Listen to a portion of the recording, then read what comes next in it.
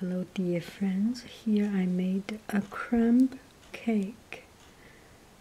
So, usually, when I go to coffee shop or go to other stores, food stores, deli shop, always see they make this uh, coffee cake or crumb cake.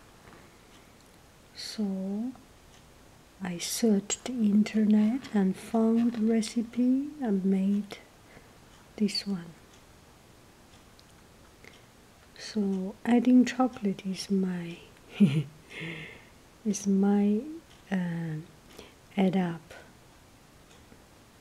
and um, pretty good.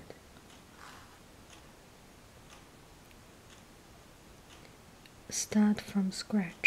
I use butter and uh, flour, yeast, egg, and uh, yogurt, just like this. Not from industrial mix. Look at the crumb.